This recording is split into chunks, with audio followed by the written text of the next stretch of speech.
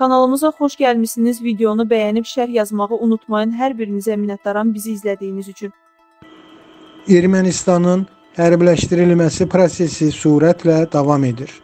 İnanılmaz olsa da bu bir həqiqətdir. Rusiya-Ukrayna münaqişəsi fonunda ərazi bütövlüyünü prinsipini qətiyyətlə müdafiə edən Qərb Azərbaycanın ərazilərinin 20%-ni uzun müddət işğalda saxlamış və hələ də Qarabağa dair ərazi iddialarını konstitusiyasından çıxarmaqdan imtina edən Ermənistana hücum və öldürücü silahlar göndərməkdədir.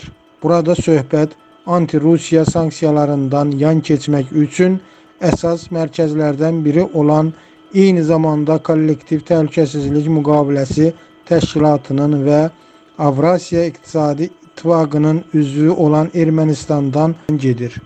ABŞ, Fransa və Avropa İttifaqı Ermənistanı Rusiya-Ukrayna müharibəsindən gəlir əldə etmək imkanı ilə təmin etməklə yanaşı, getdikcə daha aqressiv və revanşist meylləri güclənən Ermənistanın silahlandırmağa tələsir.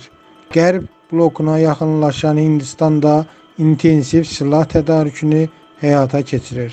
Qardaş cənub qonşumuz İran isə Ermənistan ordusunun müasir silahlarla təmin edilməsində fəal iştirak edir. Bütün bu məqamlara ardıcıl olaraq toxunaq. Fransanın artilleriya və raketləri İran vasitəsilə Ermənistana çatdırılıb.